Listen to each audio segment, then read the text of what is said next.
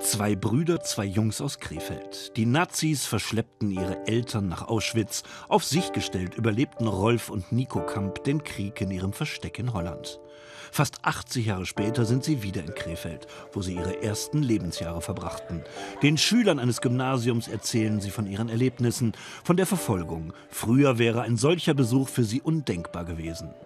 Wir waren fünf Jahre in Holland besetzt und für uns war Deutschland ein feindliches Gebiet. Lange Zeit nach dem Krieg hatte ich Angst vor den Polizisten, denn die haben ja meine, unsere Eltern äh, aufgepackt. Die jüdische Familie Kamp hatte ein Geschäft in Krefeld mitten in der Stadt. Erfolgreiche Unternehmer, angesehene, sozial eingestellte Mitbürger. Doch dann kamen die Repressalien des NS-Staats. In der Pogromnacht brannte auch die Krefelder Synagoge. Am Tag darauf flüchtete Familie Kamp über die niederländische Grenze. Davon erzählen die beiden Brüder den Schülern und vom weiteren Schicksal ihrer Familie, als die Deutschen Holland überfielen. Von diesen sechs Personen sind drei ermordet. Mein, mein Vater, Großvater und Großmutter. Und das ist 50 Prozent von der Familie.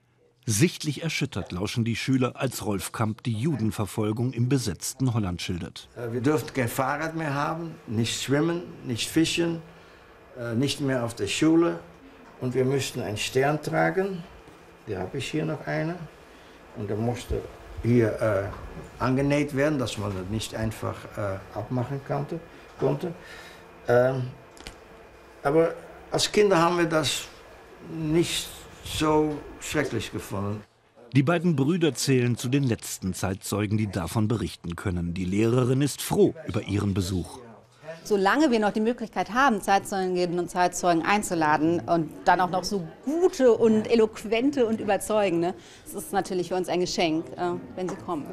Wie prägt eine Kindheit in Todesgefahr einen Menschen, wollen die Schüler wissen. Ich wollte fragen, äh, ob Ihre Erfahrungen zur damaligen Zeit in irgendeiner Weise Ihre Sicht auf die aktuelle politische Situation jetzt allgemein auf der ganzen Welt auch verändert. Ich glaube, dass wir Europäer nicht genügend tun, um die armen Leute, die herkommen und geflüchtet sind, aus was für einem Grund dann auch, um die gut aufzufangen und zu integrieren.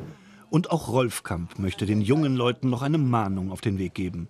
Wenn ihr seht, dass etwas die Freiheit wegnimmt oder noch so klein und wieder etwas und wieder etwas, dann müsst ihr wach werden und sagen, hey, etwas ist passiert. Wir müssen hier aufpassen und vielleicht was an tun. Es war ihr erster Auftritt vor deutschen Schülern und Rolf und Nico Kamp wollen wiederkommen. Die Brüder, die allein ohne Eltern den Krieg überlebten.